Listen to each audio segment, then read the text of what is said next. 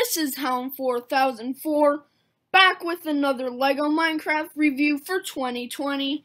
And today I'm bringing you the Panda Nursery set number 21158 with 204 pieces. So, without further ado, let's get into the Panda Nursery.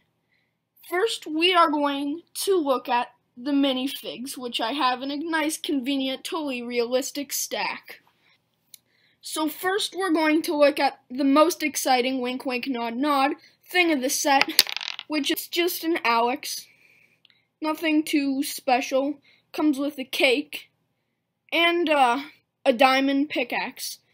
Alex is nothing new, of course. The pickaxe is nothing new. With Alex out of the way, we have another mob which is the Ocelot.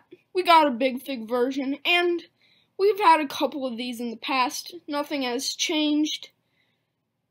Too bad they used the fox mold, if you get my my joke.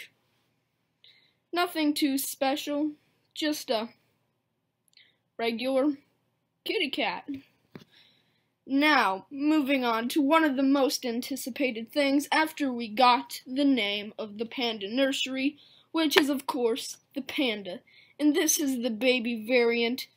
And just look at that panda head and tell me it's not adorable. It's just a small little minifig.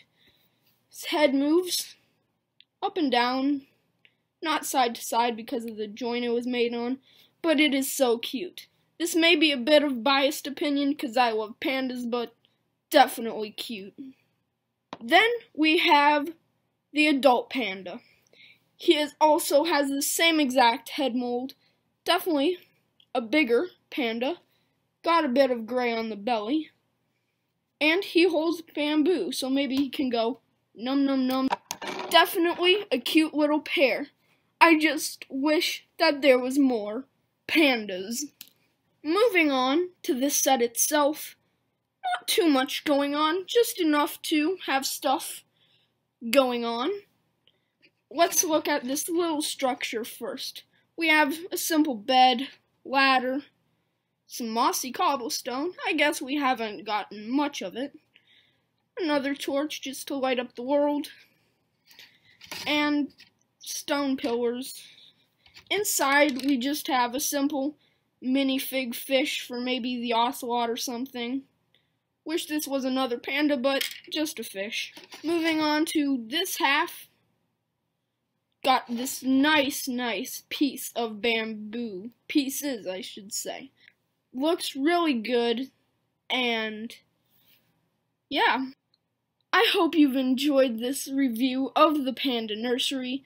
Please subscribe, drop a like, and check out my Discord in the description below, aka my comment section. For now, this is Hound 4004. Goodbye.